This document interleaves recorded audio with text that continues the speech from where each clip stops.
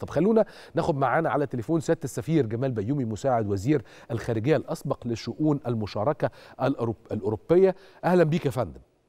أهلا مساء الخيرات. إزاي الصحة؟ مساء الفل يا فندم. آه، أهلاً كنت بيك كنت حبيبي. كنت بسأل على طبيعة العلاقات الدائمة والسابقة مع أسبانيا من جهة والتطور اللي إحنا بنشوفه بعد زيارة آه، ورئيس الوزارة في أسبانيا إلى القاهرة. ده تاريخ طويل طبعا يعني مش عاوز اخدك لغاية ال- ال- النهضة العربية في آه، أسبانيا. والأسبان على فكرة العقلاء يعتزون بفترة الحكم العربي وما زالت الأسماء العربية كثيرة في أسبانيا.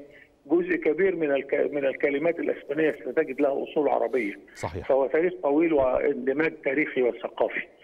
آه، بعد ذلك في في شؤوننا السياسية ال- آه، الأسبان كانوا من أكثر الداعمين لقضايانا وخصوصا القضية الفلسطينية قبل أن تدخل أسبانيا في الاتحاد الأوروبي سنة 72 ثم صارت عضو في الاتحاد الأوروبي إحنا تفاوضنا كما تعلم لايجاد مشاركة مصرية أوروبية وقعناها سنة 2001 مم. هنا بقى زادت حجم العلاقات ليه؟ لأن أزلنا الحدود فيما بين مصر وأسبانيا وال27 دولة أوروبية وبمعنى لا توجد رسوم جمركية أو أي عوائق بين مصر وكل بلدان الاتحاد الأوروبي. لنتائج وفي اتفاق أسبانيا. الشراكة.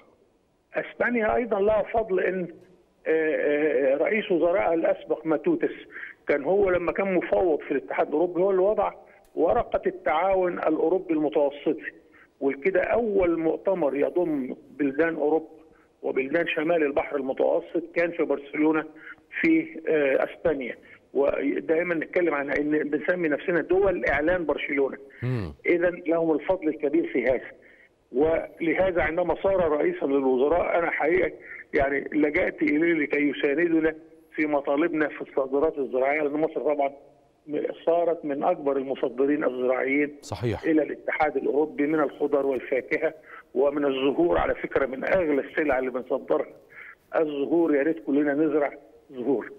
حاليا دخلنا بقى في مجال جديد وهو دول آه، شرق البحر المتوسط وما آه، يعني اهدانا الله هديه عظيمة وهي اكتشافات الغاز الأخيرة. فبالتالي ظهرت أطماع مضاده لينا ومرتزقة راحوا يحتلوا ليبيا. 20 ألف مرتزق أتت بهم دولة عظمى قديمة إلى المنطقة. كل ده يتعارض مع سياسة مصر ويساندها في ذلك الاتحاد الأوروبي بل الحلف الأطلنطي.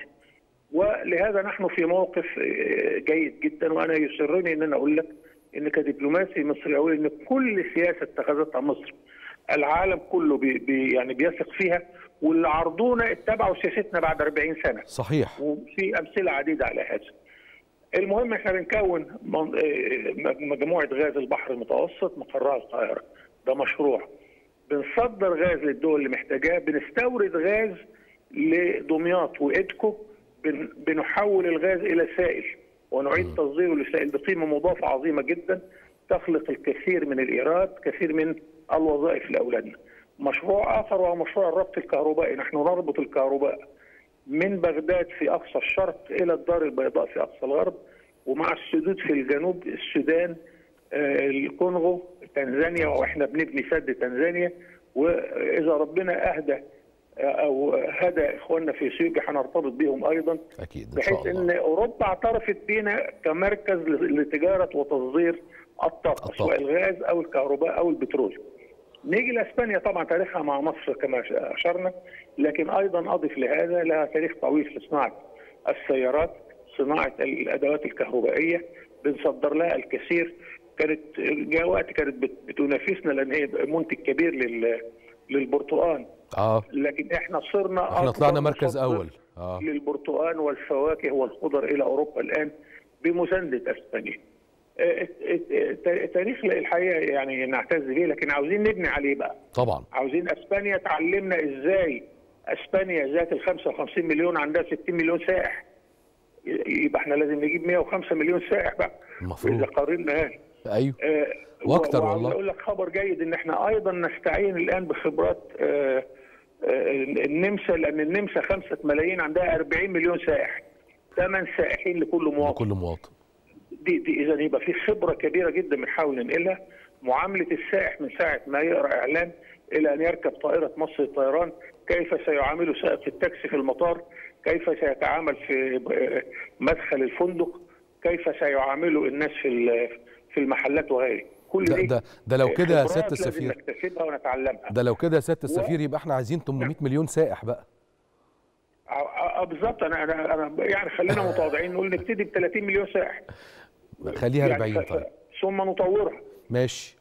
وإحنا نستحق هذا وأكثر. إحنا صحيح. من أكثر بلدان العالم تنوعا. عندنا سياحة الشواطئ عندنا سياحة البادية والرحلات عندنا سياحة طبعا السياحه الثقافية. الآثار آه. والسياحة التقليدية. فمصر جديرة بهذا. ودي على فكرة يعني زي ما يقولوا يعني تجارة تجيب ذهب. صح. ومهنة عظيمة يعني كثير من المصريين يستفيدوا بها ويا ريتنا نضاعف جهودنا في هذا. 100% ثم الصناعة عاوزين نجذب استثمارات من أسبانيا في منطقة قناة السويس في سيناء في غرب وادي النيل على البحر الأحمر في الصعيد والبلدان التي بدأنا نصنعها. لأن عندنا نهضة صناعية كبيرة إن شاء الله في السنوات القادمه نحتاج لكل شريك نستطيع الاعتماد عليه لتطوير الصناعة في مصر. 100% أنا بشكرك جدا سيادة السفير جمال بيومي مساعد وزير الخارجية الأسبق لشؤون المشاركة الأوروبية.